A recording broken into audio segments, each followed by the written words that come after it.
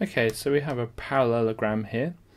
Um, and the important thing to realise in a parallelogram is the opposite angles. So these two and these two will be equal.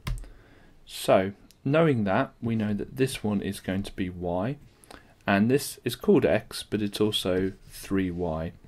So adding all of those up, so 6, 7, 8, altogether we have 8y.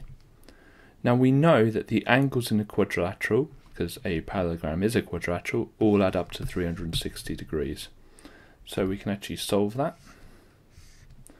So if I divide by 8 both sides, and the way of doing that, if it's non-calculator, is halve it, halve it again, then halve it again. So half of 360 is 180, half of that's 90, half of that's 45.